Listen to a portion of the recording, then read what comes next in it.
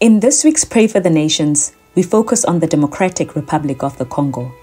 Twin bomb blast hit two camps for displaced people in Eastern Democratic Republic of the Congo, killing 12 individuals, including children, and injuring at least 20 others.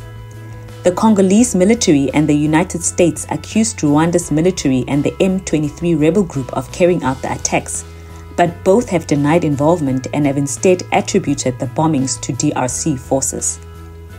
In recent months, fighting has intensified between the Congolese army and the M23 armed group in eastern DRC.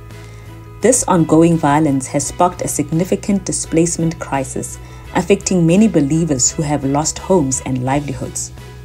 In the face of this turmoil, let us turn to God in prayer, seeking His comfort, protection, and guidance for all those impacted. Please join us in prayer. Pray for comfort and healing for the victims of the bomb blast in eastern DRC and for wisdom for leaders working to address the violence.